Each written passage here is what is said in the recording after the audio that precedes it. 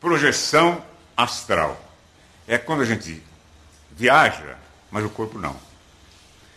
Isso tem uma grande vantagem, ou seja, a gente acaba acreditando numa coisa que antes a gente apenas ouvia dizer. Porque se a gente parar para pensar, a gente passa um terço da vida dormindo, quando a gente poderia estar aprendendo coisas, conhecendo gente, é, conhecendo lugares, culturas, países, com uma ressalva, com um certo cuidado. Porque mas vamos encontrar também pessoas não muito boazinhas, barra pesada mesmo, e aí, quando a gente for sair do corpo, a gente sair com cuidado. Sair do corpo é com cuidado.